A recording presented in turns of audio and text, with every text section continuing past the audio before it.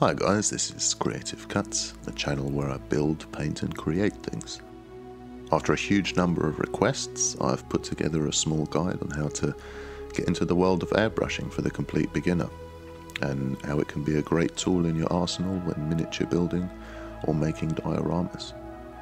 Now before we begin, I'm no expert, but I've been airbrushing for approximately 20 years, making everything from custom signs, t-shirts, to a few motorbikes for friends, as well as incorporating it into my own artwork.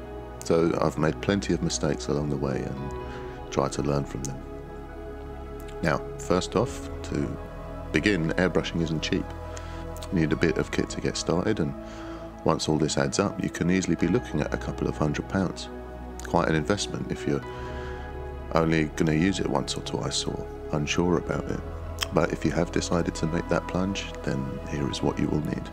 A compressor or an alternative source of air. This is my little compressor and it's the second one I bought and it's lasted me a good 15 years and still going strong. They don't need to be super fancy but you basically get what you pay for as you will find that this will be the theme for most of this video. Any decent compressor from any reputable manufacturer will do the job the air comes out of this little fitting onto which we connect a hose. Now these come in all shapes and sizes, but for now I'll show you this little rubber one as this is what you will find in most starter sets. These are cheap and prone to leaks as they're not very durable, but the hose screws onto the compressor and then you connect the other end to either directly to the airbrush or advisably to a pressure gauge. This one came with my compressor and has a built-in moisture trap.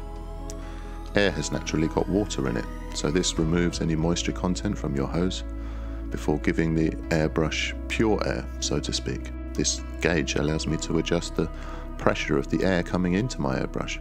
This is important because you will find that different types of airbrushing will require different pressures to operate in an optimal way. You can lower the pressure for really fine detail work, but Usually I will have my pressure set somewhere between 20 and 40 psi. The whole lot drops into this little clamp hanger, which also has two useful spaces to rest your airbrush when not in use. This has another connection onto which we attach another hose for the airbrush. Now this type of hose is the type that I use and can highly recommend. These are what are called braided hoses.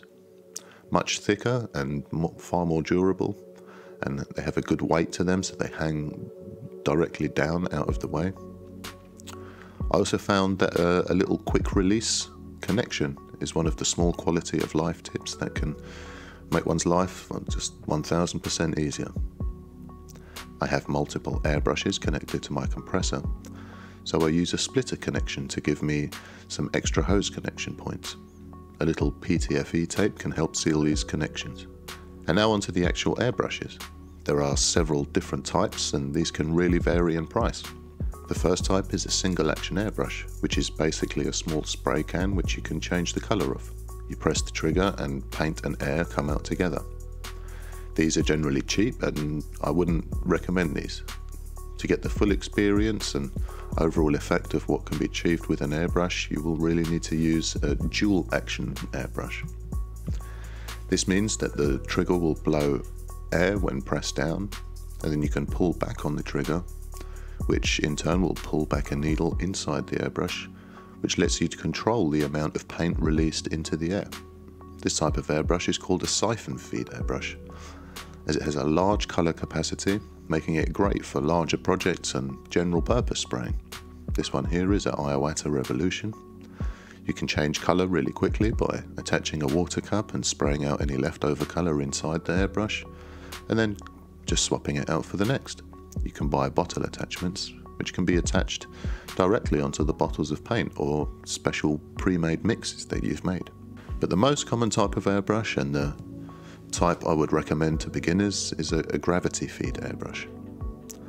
As I said, these have a needle inside which goes back and forth to regulate the amount of paint which comes out.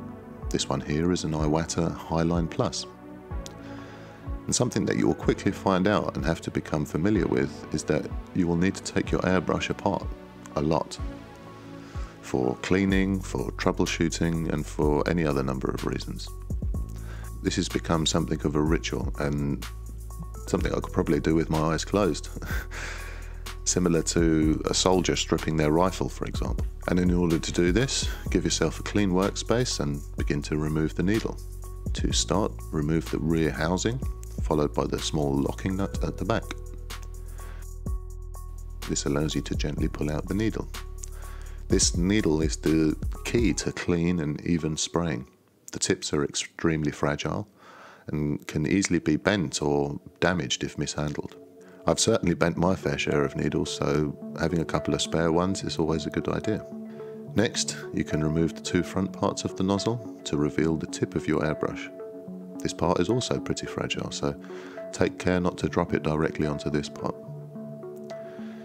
This can also be removed with a little spanner in the case of an Iwata airbrush, but I have found that unless you need to replace this part, I never really need to remove it for cleaning. And to put it all back together, you follow the same process again, but in reverse. Starting with the front of the airbrush and then carefully threading the needle through the body again until you feel it stop inside the nozzle, then tighten the locking nut and you're good to go. I just wanted to also show you my Frankenstein airbrush, which shows you how the principles can stay the same, but each company will do things a little differently. This airbrush started out as a Hansa airbrush, but I've since changed out some of the parts with Iwata parts, as they just happen to fit. The main difference is that the nozzle here is separate. At first, things can seem a little confusing as each company has their own little features, so to speak, but the overall mechanics generally stay the same and I have found an airbrush holder to be extremely useful, and I have several on hand to make my life easier. Next on to paint. You can pretty much spray any paint through an airbrush as long as it's thin enough, but I can definitely recommend some specific paints which I use a lot. Firstly, dedicated miniature paints, which I'm sure some of you will be familiar with already. In this case, these are made by Vallejo, and you can pretty much use these straight from the bottle. Major artist paint companies will often also do their range of pre-thinned airbrush paint. In this case, Golden do a great range of liquid acrylics. These also come in opaque and transparent versions to give you different effects. Next is some specific multi-purpose water-based airbrush paint, in this case, Createx. This is probably my favourite type of paint with the Wicked Colours range being the latest version of these paints. For anyone really interested in this, there are some really great demos you can search on YouTube using Wicked paints and you can see what they're really capable of.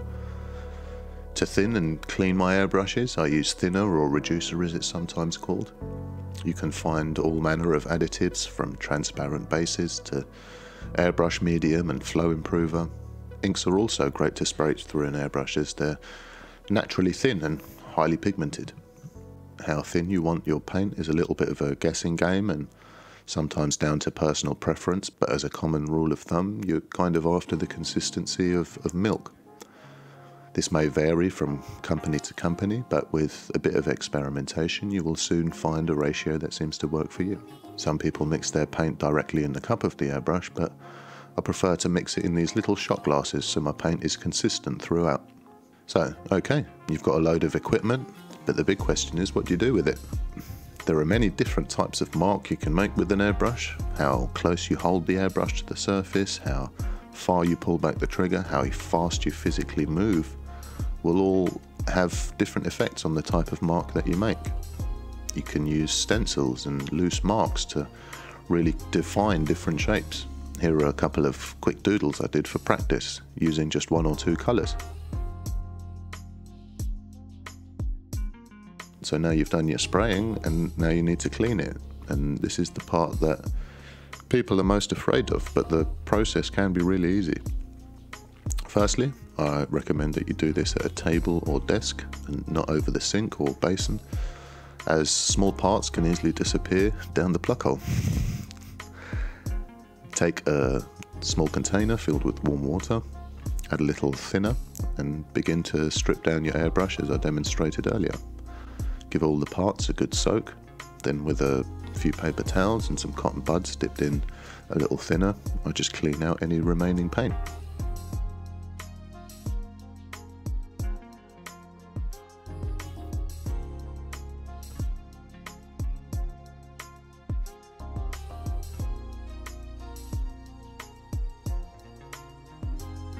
and carefully reassemble.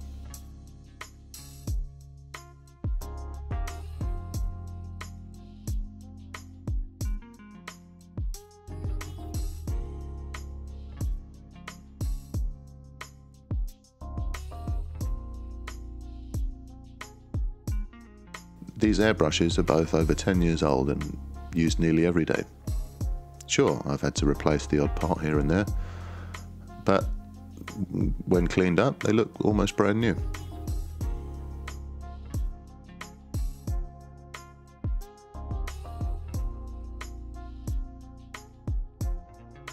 A supplier of spares is also really useful, and I've added a couple of links in the description to places where I get mine, albeit these are in the UK, but again, a good place to start if you don't know where to begin. Great, well, that's all well and good, but how does any of that apply to miniatures and dioramas? And at first, I imagine it seems pretty complicated, so here I've included a few practical examples from previous videos I've made in order to show how the skill level you actually need for miniatures isn't high at all. Here I use an airbrush basically as a substitute for a spray can to colour some trees in a Star Wars diorama I made. Link above if you want to watch it in full.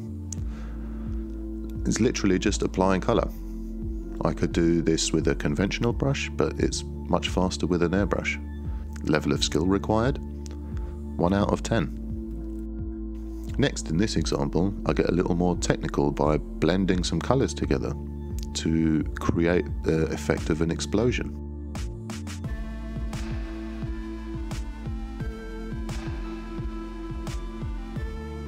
Basically spraying random dots on the cotton wool, getting darker towards the edges.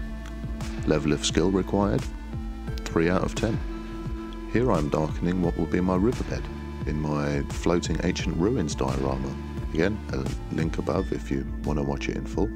Simply spraying a mix of brown and black into deeper parts to give a deeper tone. Very simple. Skill level, 2 out of 10. In this example, I used the airbrush to simulate light and do this by spraying a stronger white line and then just hazing off the edges.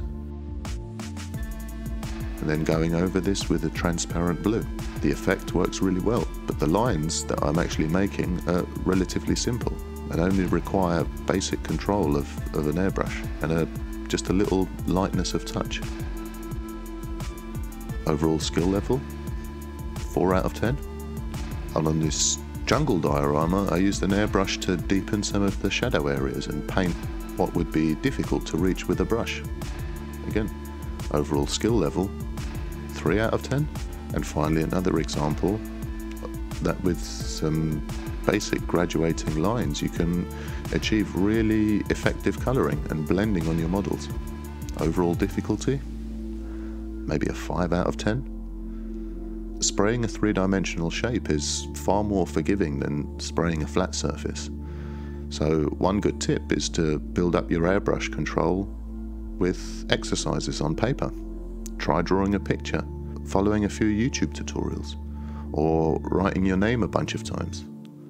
This will massively improve your overall confidence and ability when working on your prized creations. Check the mic and make sure it sound right, boys.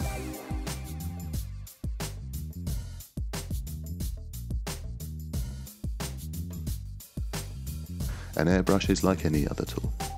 It will not magically make things look amazing like any tool. You need to learn its strengths and its weaknesses, learn how to use it, and it will become almost an extension of your hand. Take care of it, and it will repay you with hours of frustration. But when the pieces of the puzzle start falling into place, it can be so much fun. Thank you for watching.